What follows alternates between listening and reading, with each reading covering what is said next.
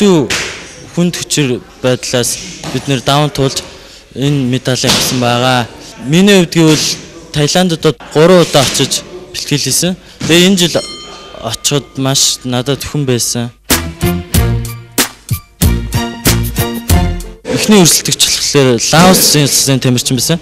Лаосын тамирчныг 2 дугаар үед нь хүчтэй цохилтоор унгаасан.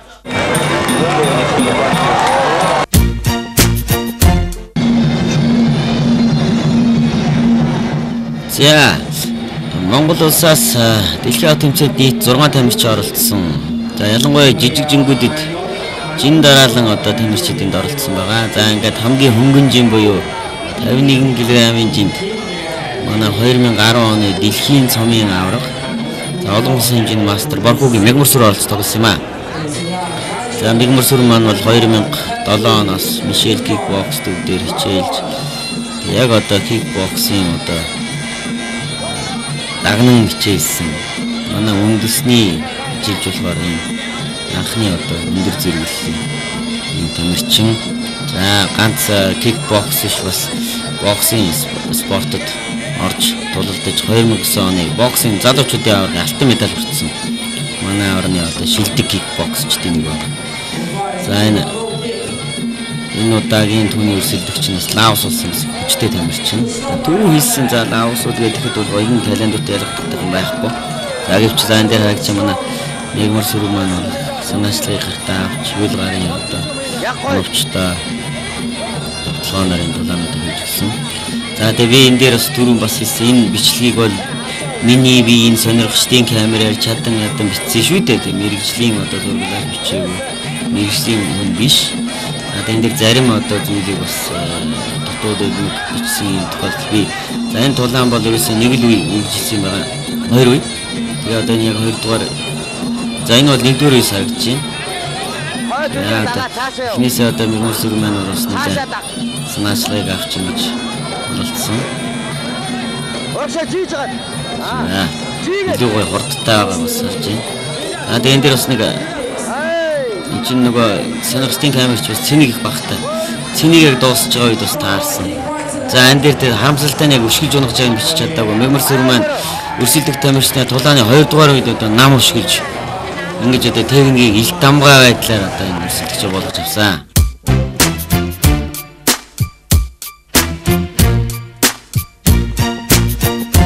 Би Египтийн тамирчинтай тоглосон байгаа. Надаас хүчтэй байсан. Тэгэд би эхний үед нь хүчийг аргалж жоохон тоглосон. Тэгэд хоёрдугаар үеэс болохоор би толгоонд нишэлж унаасан.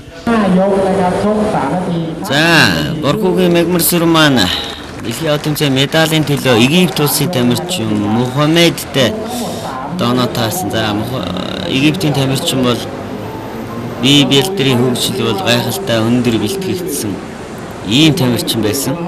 За энэ дээр сая Египтийн тамирчин одоо улаан болонд одоо гарч ирснийг харууллаа. За ингээ хөх болонд одоо Монголын тамирчин Ягмар сүр маань гарч ирсэн байна. За дөрөв хэлсэн энэ тулаан бол одоо нээл таалтын ажиллагаа томоо одоо зааланд явагдаж за тулаанууд бол одоо энэ нийтэд сурталчлах зорилготой Бангкок хотын гол төв зэг болох MBK центр гэж энэ центр зохиогдсон. За энэ бол олон зуун одоо хүн нэг одоо тэмцээнийг үзэж сонирхож ингэж одоо энэ спортыг бас таны мэдэж байлаа. Танд бол олон одоо сэтгүүл, сурвалжлагч, зурагчин гэдэг одоо маш одоо олон төрлийн хүмүүс энийг одоо чөлөөтэй сонирхож үзэж ирсэн гэдэг хэлье. Тэгээ ер нь спортыг хөгжиж байгаа, хөгжиж байгаагүй гэж ангилахаасаа илүү үзэгчтэй, үзэгчгүй юу гэж ангилах нь бас их чухал. Тулааны спорт тэднүүнд кикбокс, мотобокс бол үнэхээр үзэгчтэй спорт.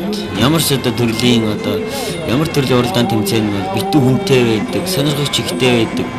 Энэ чинараараа одоо энэ олон улсад одоо ирч хүчийг авч хөгжиж байгаа. За дээр нь энэ одоо талентын уламжлал өв соёлыг бол маш сайн хадгалж чадсан спорт зан дээр вакро гэж юм одоо ясаллыг одоо хоёр тамирчин хийлээ. Дулааны өмнө заавал энэ вакро гэж энэ одоо дулааны яслыг хийж явах хэрэгтэй. За ингээ хөх болон Монголын тамирчин Борхуу Улаан болонд Египт улсын тамирчин Мухаммед нар 51 кг-ийн жингийн хүрэл медалийн төлөө өрсөлдөж байна. За Монголын тамирчин бол одоо хөх булангаас гарт болж байгаа хөхөнгийн бэлэттэй дулааны үйлчлүүлж байна. За энэ бичлэг бол одоо сонирхтын камераар миний чадын ядан бичсэн гэдгийг дахин давтан хэлье. За дулааны 1-р үеэс энэ мемор сэр маань хурдтай ажиллаж эхэлсэн. Одоо энэ Мухаммед бол хүчтэй тамирчин байсан.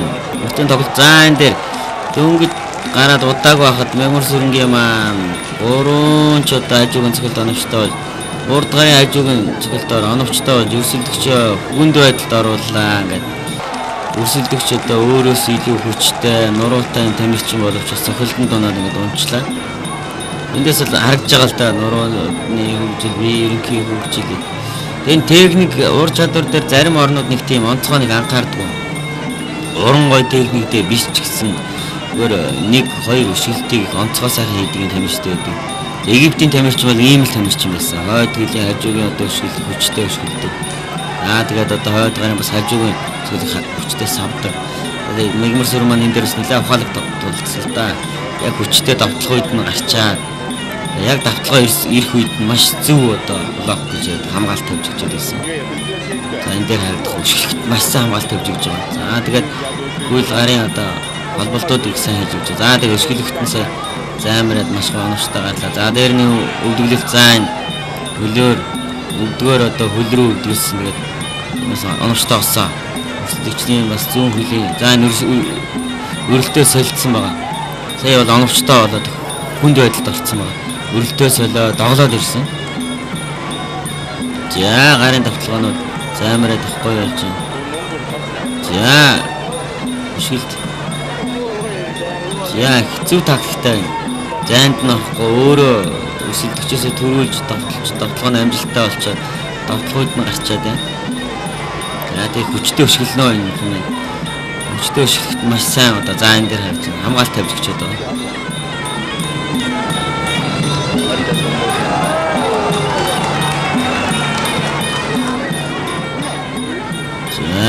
Гарын давталгааны ч юм их л хурдтай болж энэ юм байсан. За энэ дээр өсөлт маш гоё хамгаалт өгч байгаа.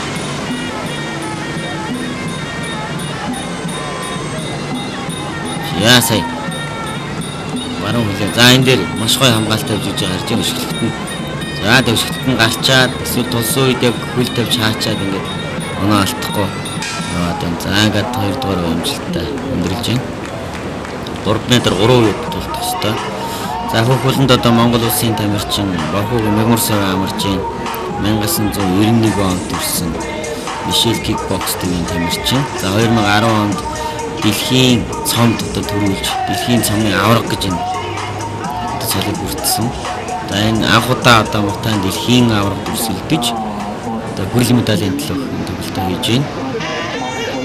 Улаана хийж байна. За ингээ 2 дугаар За хоёрдугаар гарангуут одоо миний өөрсөө маань тоглолтынхаа темпийг нэмээд ингээд ирж байгаа. За энэ бас бэлтгэлтэй холбоотой. Дөрөв тамирчид маань өөрсдийнхөө бэлтгэлийн талаар давч хийсэн.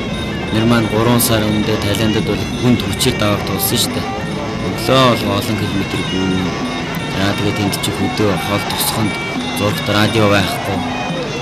За ийм одоо нөхцөл бэлтгэл сургалт их сайн хийсэн байгаа. Эндээс энэ үр дүн болно одоо харагдаж байгаа. Тэгэж одоо хүн бэлтгэлийн эцэстээ аль ч орны тамирчдыг айлгаж чадж байгаа. За мэгсэн шахаад Египтийн тамирчаар нэлээд сулраад ирсэн. Харагдаж байна. За хоёрдугаар хөлөөр хөлрөөшлөө.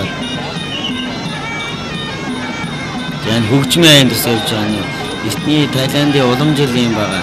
Мутан ая гэж тустай байдаг ингээл раунд үе өксөх туссан ингээл энэ хөгжмийн ая заасаа За гарын давталгаанаас онцтой бол за энэ хүмүүсийн баруун хөлийн өшөлт хүчтэй гэдэг юм байна.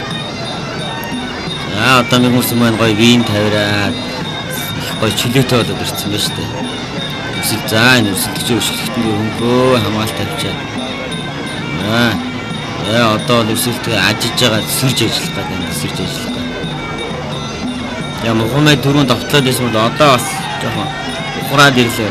Ингээд эндээс харагдаж байгаа л да. За хөлийн өшөлтөөс амжтай болсон. За баруун гарын шулуун зүүн гарын шулуун амжтай боллоо. Доогор гүшлээд хөл. За одоо ер нь нэглээ Мухаммад Тэ хамгаалтын шилжээд ирц. За урагшаа хоёр жижиг доногчтой болсон.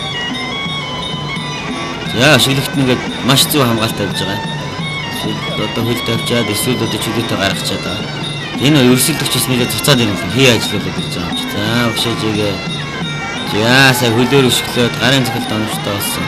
За гидсэн дэр өшөлчлээ. За баруун гарын цохилт доногчтой болсон. Хоёр чажуу. За зөв хөлөө өшгөлтөөр өрсөлдөгч Египтийн тамирчин одоо нокаутд оруулж байгааг харж байна. Энэ бол одоо дэлхийн аваргын медалийн төлөө чухал